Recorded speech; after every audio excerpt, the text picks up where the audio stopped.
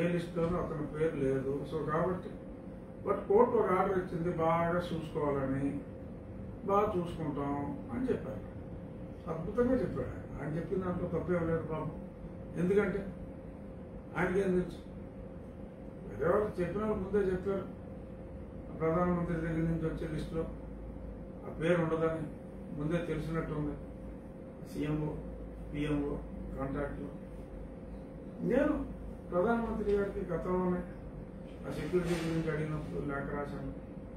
అలాగే ప్రోటోకాల్లో వీళ్ళు లేపేసే ప్రమాదం ఉందని కూడా నేను లేఖ రాశాను. సింపుల్ ప్రోటోకాల్ నామ్స్ ఎవరైనా ప్రోటోకాల్ని ఉల్లంఘిస్తే నేను లోక్సభకి కంప్లైంట్ ఇస్తాను. ఈ రోజు దాకా నేను ఇచ్చిన ఒక పది ప్రోటోకాల్ ఉల్లంఘనలు నేను ఇచ్చుంటాను ప్రివిలేజ్కి ఒక్క దాంట్లో కూడా యాక్షన్ లేదు. ఓన్లీ రొటీన్లో పడేద్దామా అంటే? నేను పిఎంఓ మీద ఇవ్వాలి. ఎవరి మీద ఇస్తాను గజేంద్రుడు కష్టం వస్తే విష్ణుమూర్తికి మొక్కుకున్నాడు అసలు విష్ణుమూర్తి కష్టపడితే ఇంక నేనేం చేస్తాను?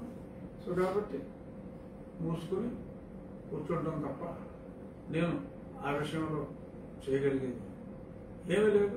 సో కాబట్టి ఈ పార్లమెంటరీ ఈ వ్యవస్థ. ప్రివిలేజ్ ఎంపీకి ఒక ప్రివిలేజ్ ఇవన్నీ నేతి బీరకాయలు నెయ్యి లాంటివని. ఇవన్నీ సరైన పాలకులు ఉంటేనే పనిచేస్తాయి ఎందుకంటే ఆ ఆఫీస్ దగ్గర రోషన్ వాళ్ళకి తెలిసి ఉండకపోవచ్చు. వాళ్ళకి లోకల్ ఎంపీ ఎవడో కూడా తెలిసి ఉండకపోవచ్చు. ఏదో చిత్తూరు ఎంపీని రాజంపేట ఎంపీని ఇంకెక్కడ ఎంపీనో తీసుకొచ్చారు కాబట్టి ఎంపీ ఎంపీ అని ఉంటే ఈ లోకల్ ఎంపీ వాడే అని వీళ్ళు కూడా అనుకుని ఉండొచ్చు. చెప్పడం బట్ చెప్పవలసిన బాధ్యత ఈ లోకల్ గవర్నమెంట్కి లోకల్ అథారిటీకి బట్ వాళ్ళే ఛాలెంజ్గా తీసుకుని అంటే సకల శాఖ మంత్రి ఓపెన్గా నేను చెప్తున్నాను అతను. చాలా పద్యాలు గాయించాయట వాళ్ళ సాటి రెడ్డి కులస్తులతో. నేను వచ్చినా కూడా స్టేజ్ ఎక్కడు అని చెప్పి సో ఆ రకంగానే స్టేజ్ ఎక్కి లిస్టులో పేరు లేదని ముందే అనౌన్స్ చేశారు ఐ థింక్ మా వెస్ట్ గోదావరి